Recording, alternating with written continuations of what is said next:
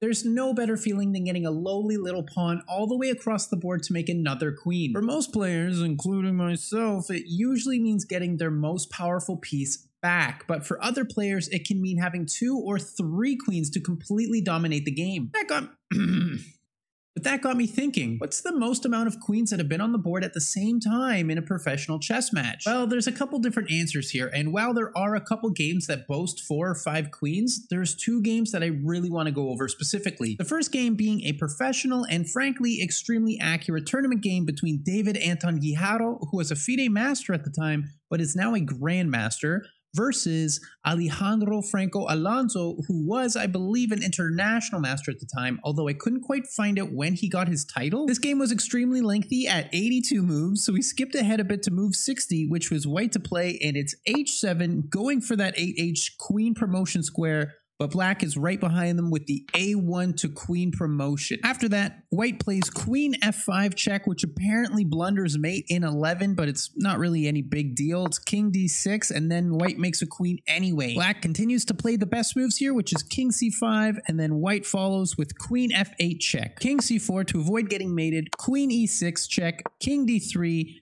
queen takes f6, queen d4, and then a little bit of shuffling moves until eventually we see white start pushing his g-pawn.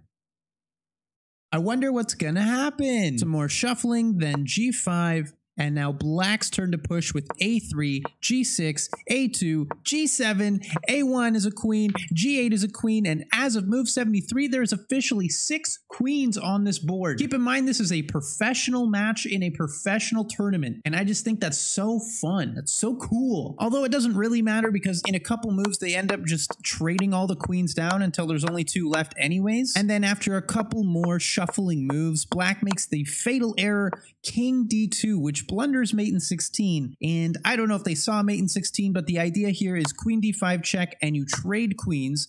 Once you trade queens, your white pawn is free to run up the board and nothing can catch it.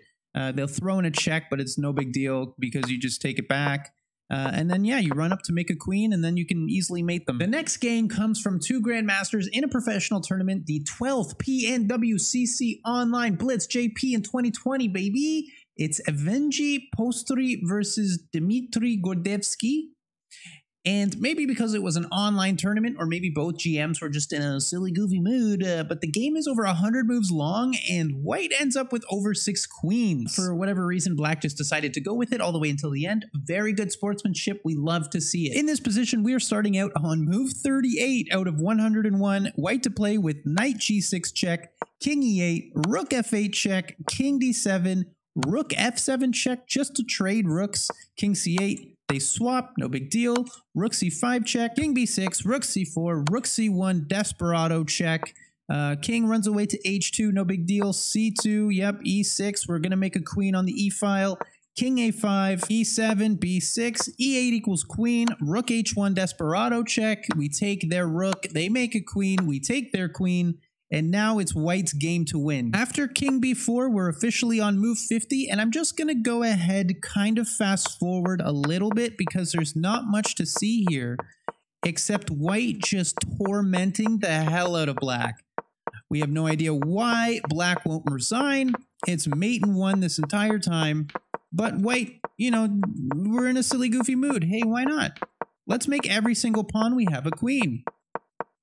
And just like that, on move 85, White has six queens all by themselves, and this is also in a professional tournament game. So exciting! What's even crazier is it's still mate in one, and it's only move 85 out of 101. So let's see what White does. All right, Black does King D1, and White gets everybody all lined up nice and neat. Heads on over the king to the other side of the board. Let's get the knight out of there.